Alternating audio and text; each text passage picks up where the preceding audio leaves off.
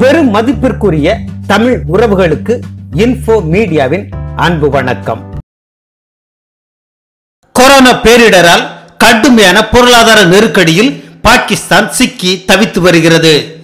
Saudi அரேபியாவிடம் இருபத்தி ஓராயிரம் கோடி ரூபாய் கடன்.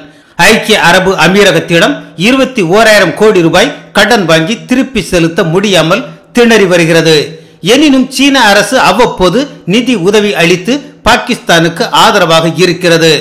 சீனாவிடம் இருந்து வாங்கியுள்ள பல ஆயிரம் கோடி கடனை கழுதைகள் விற்பனை மூலமாகவே பாகிஸ்தான் அரசு சரி கட்டி வருகிறது. உலக அளவில் கழுதைகள் அதிகம் வாழும் நாடுகளில் சீனா முதல் இடத்தில் உள்ளது.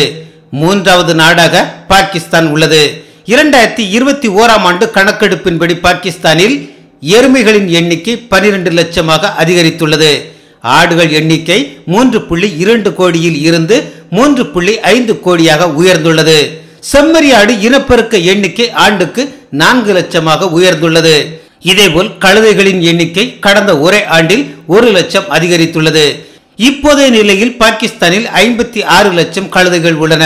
இப்படி பாகிஸ்தான் தனது நாட்டில் கழுதைகளின் இனப்பெருக்கத்தை அதிகரிப்பதற்கு பெரிய காரணமும் உள்ளது. ஒரு கழுதையின் விலை முப்பத்தி ஐந்தாயிரம் முதல் ஐம்பத்தி ஐந்தாயிரம் வரை இருக்கும். ஒரு கழுதை ஒரு நாளைக்கு சுமார் ஆயிரம் ரூபாய் வியாபாரத்தை உருவாக்குகிறது என்று பொருளாதார ஆய்வை மேற்கோள் காட்டி ஏஎன்ஐ தெரிவித்துள்ளது. எனவே பாகிஸ்தான் சீனாவுக்கு கழுதைகளை ஏற்றுமதி செய்வதற்கு பெரிய திட்டங்களை வைத்துள்ளது. அதற்காக பல கோடி ரூபாய் முதலீட்டில் கழுதை வளர்ச்சி திட்டம் உருவாக்கப்பட்டுள்ளது. இதற்காக பாகிஸ்தானில் கழுதை பண்ணைகளை அதிகப்படுத்த அரசு நடவடிக்கைகளை மேற்கொண்டு வருகிறது. கழுதைப்பால் மற்றும் கழுதைகளின் தோல் ஆகியவை மருந்து உற்பத்திக்கு பயன்படுத்தப்படுவதால் சீனாவில் கழுதைகளுக்கான தேவை அதிகமாகி உள்ளது கழுதைகளில் இருந்து பல்வேறு நோய்களுக்கு பாரம்பரிய மருந்துகள் கிடைக்கின்றன. ஆண்மையை அதிகரிக்கும் கொழுப்பு சத்துக்களும் உள்ளன. நோய் எதிர்ப்பு சக்தியும் அதிகரிக்கிறது. அதனால் பாகிஸ்தானிடம் இருந்து ஆண்டுதோறும் எண்பதாயிரம் கழுதைகளை சீன நிறுவனங்கள் வாங்கிச் சென்று மருந்துகளை தயாரிக்கின்றன. இதன் மூலமாக பல கோடி ரூபாயை பாகிஸ்தான் வருமானமாக ஈட்டுகிறது. இதன் காரணமாகவே கழுதைகள் இனப்பெருக்கத்தை பெருக்குவதில் பாகிஸ்தான் பிரதமர் இம்ரான்கான் ஆர்வம் காட்டி வருகிறார்.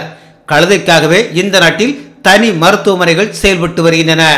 இப்படி திடீரென கழுதைகள் எண்ணிக்கை அதிகரித்து வருவது பாகிஸ்தானில் சர்ச்சையை ஏற்படுத்தியுள்ளது. பிரதமரான இம்ரான்கான் பொறுப்பேற்றதில் இருந்து கழுதைகள் எண்ணிக்கை ஆண்டுதோறும் அதிகமாகி வருகிறது. இதனால் எதிர்க்கட்சியினர் பிரதமர் இம்ரான்கானை கழுதைகளின் அரசன் என பட்ட பெயர் சூட்டி கிண்டல் செய்து நாடாளுமன்றத்தில் முழக்கங்களை எழுப்பி வருகின்றனர் என்பதும் இங்கே குறிப்பிடத்தக்கது. நன்றி.